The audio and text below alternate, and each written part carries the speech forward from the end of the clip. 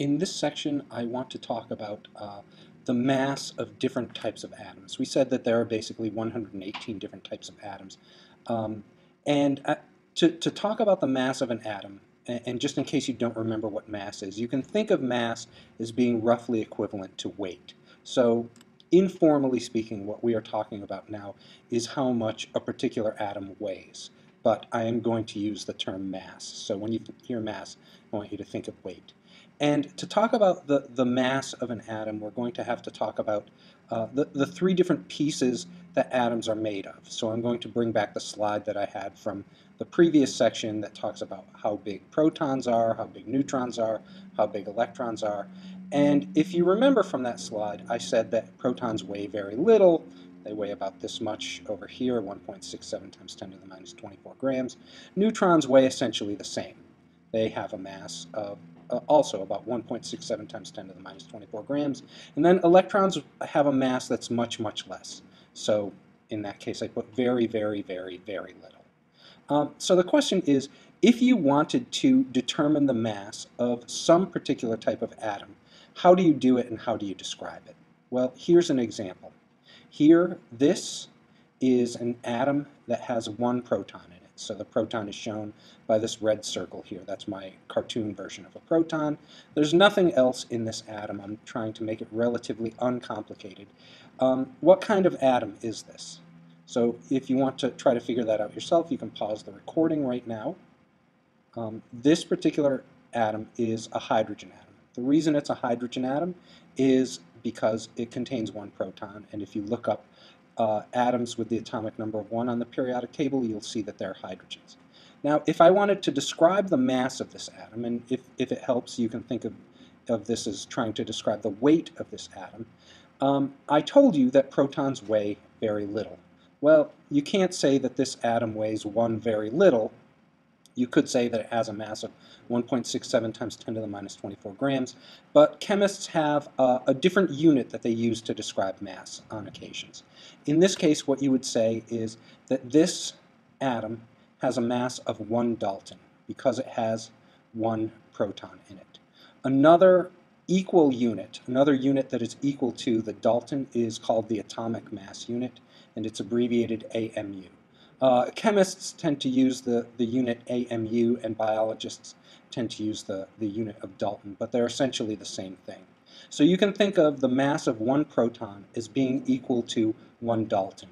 And in this case, this atom pretty much only has one proton, so the entire mass of this atom is one Dalton.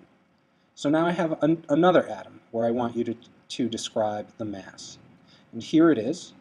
Um, in this case, this atom has two protons. So if I asked you what kind of atom it is, you could look up uh, which atom has two protons in the periodic table, and you would see that it's helium.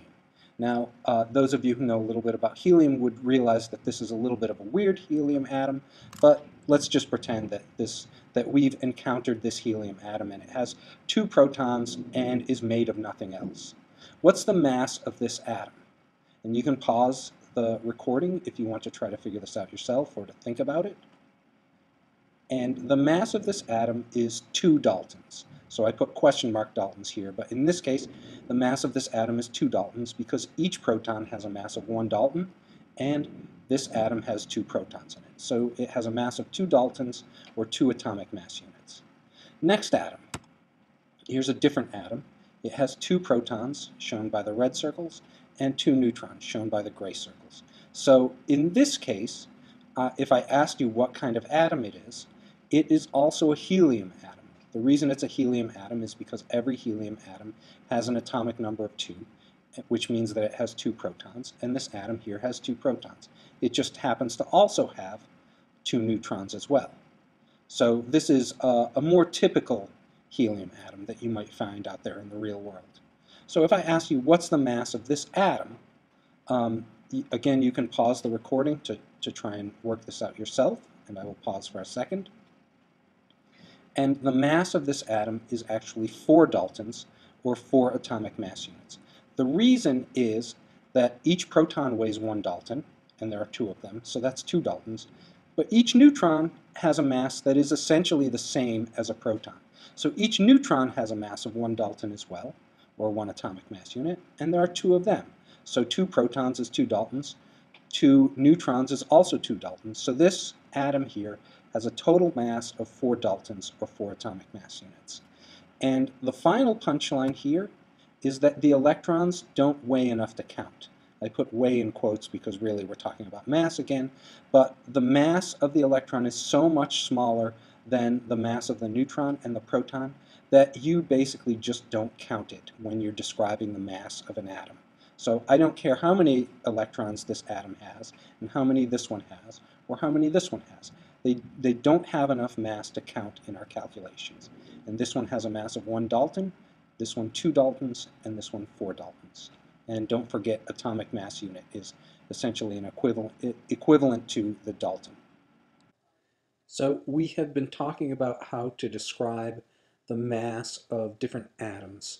Um, a more formal way of talking about the mass of an atom. When you're talking about the mass of an atom, one way of talking about it is uh, basically you're talking about something called the mass number of an atom.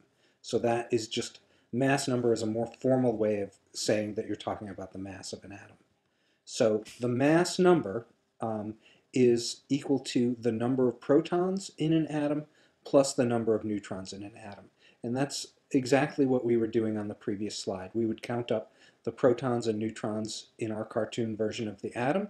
And then we would say the atom was two Daltons or four Daltons or one Dalton in mass. And that's uh, what we were doing was basically determining the mass number of each of those atoms. And again, that's just the number of protons plus the number of neutrons in the atom.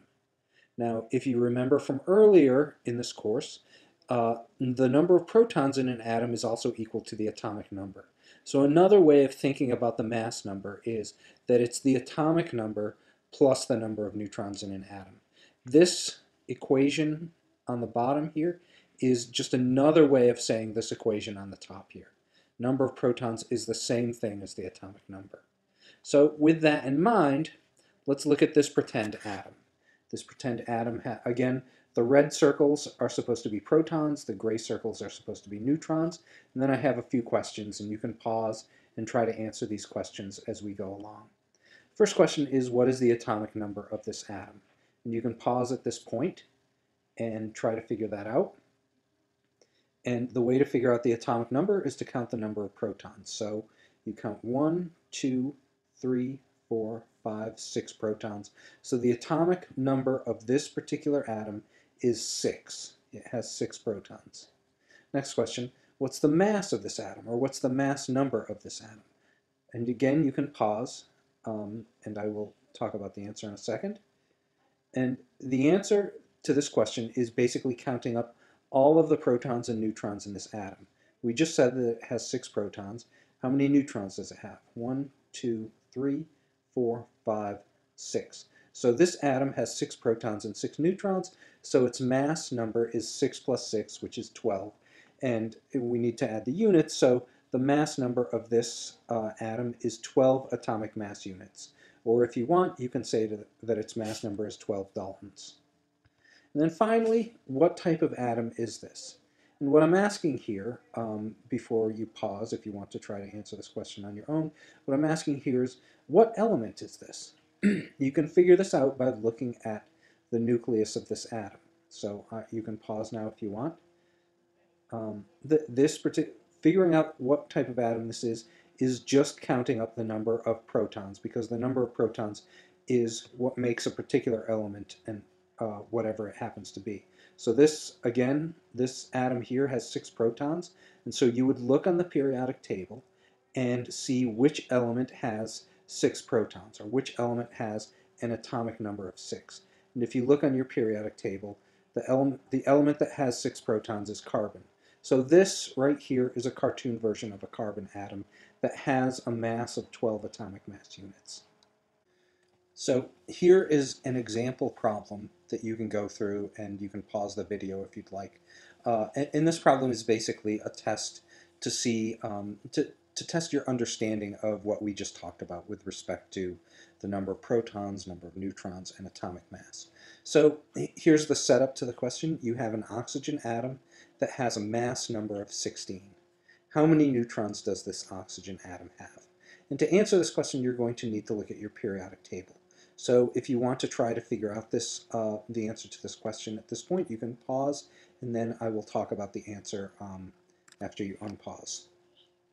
So here, uh, the basic setup of the question is you have an oxygen atom that has a mass number of 16.